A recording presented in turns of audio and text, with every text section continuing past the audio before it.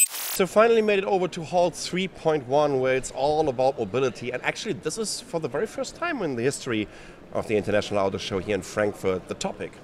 It's uh, Mobility Connects and um, it can't get any better. I talk to someone who is really into the connecting business, um, connecting industry, connecting things, connecting people. And therefore, I'm going to talk to um, Erik Brenneis. He's the director of M2M communication, therefore, also the director for everything automotive at Vodafone. Good morning. Good morning. Yeah, I guess you could say that. Yeah. So, um, I mean, for the very first time, that you can show off here at the biggest auto show and car show in the world, because at the end of the day, M2M communication, the car of the future, the smart car of the future, needs a proper network, and you guys are working on this. I agree. Um, I think this year it's obvious when you walk around the fair here in Frankfurt, uh, the connected car and for the future the autonomous car is really the big theme and the mobile networks are absolutely key to this and uh, we as Vodafone have the biggest mobile networks globally so I think we're right in the center of the action this year in the automotive industry even in this Hall 3.1, you know what? I have to admit that this is my very first IAA because I mean we we have this different approach of coming from mobile technology. Um, this Hall 3.1 looks like an amazing kind of mixture in between some startups that we have over here. We have telecommunications uh, providers, and of course the car industry. So the big merger is happening now. Yes, absolutely. I think the connected car is not any longer the future. It's the present, but it's the beginning of the present because uh, in Europe at the moment, uh, of all the new cars, only about 20% of the cars are connected. Mm-hmm. But in three years, I am sure it will be more than 80%. And that's why we're working very closely with um, all car manufacturers in expanding the products which they have so that it becomes even more attractive for consumers to buy a connected car. When we talk about the connected car, the smart car of the future, future of mobility, we also have to talk about smart cities and, of course, the Internet of Things, just to kind of combine all the buzzwords we're talking about in these days. But this is about infrastructure, this is about networks, and we have 4G established in the markets for quite a while now. Yep. Um, but there's something else coming, and that is 5G. Can you tell us a little bit about the development of 5G and why it's so important for you guys? Yep.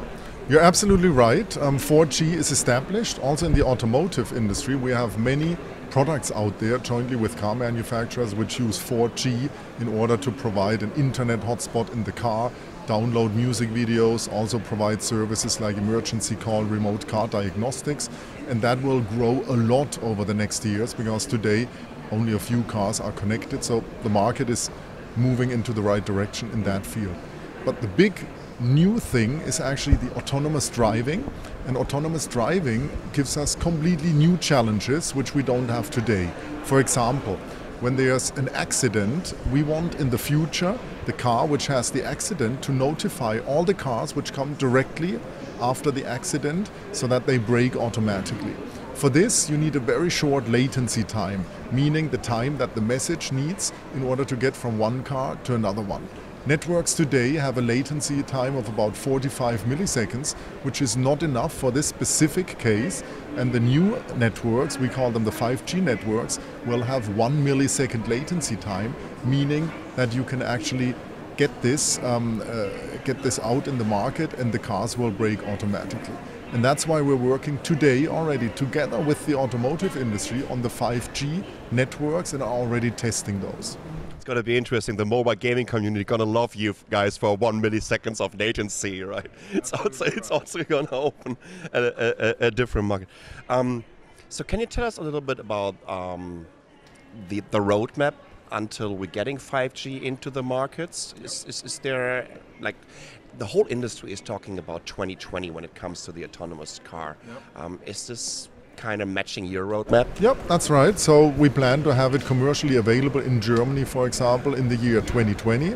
We're already testing networks now. We're working with universities like the University of Dresden mm-hmm. um, on, on this, and we're already rolling out um, test networks uh, as well. But commercially available, we expect the year 2020. So um, I'm pretty sure that you're talking to all the car manufacturers out there. Um, right now, we're still in a situation where we have to use SIMs, right? And we were talking a lot about virtual SIMs of the future. So, is this going to be an option that maybe with 5G we're going to see a change that each and every car is just having a, a module in there that can connect to your network and also connect to your network internationally, which is very, very important, right? Roaming is going to be a factor. Yep. Well, I mean, the SIM cards today, which are in cars, are not classic SIM cards like the plastic SIM card which you plug in there. They are really a, a, a, very small component which you solder onto the communication module, which has security features built in, which has automotive specification for higher temperature range, for example, and so on. So, so these are already specialized SIM cards for the automotive industry. We do not expect the SIM card to ever go away because it's a critical security component of our network. You need it for identification. However, of course, the technology will move forward in the sense that you have one SIM card which works everywhere in the world. Actually, we have that today already. Yeah, That's yeah. what we did, um, the so called global SIM, which is soldered inside. So I think that technology is already there. That won't be the focus for the 5G networks. Um, the real innovation on 5G networks will actually be in the network. Latency time, speed that it needs to transmit the data, and so on.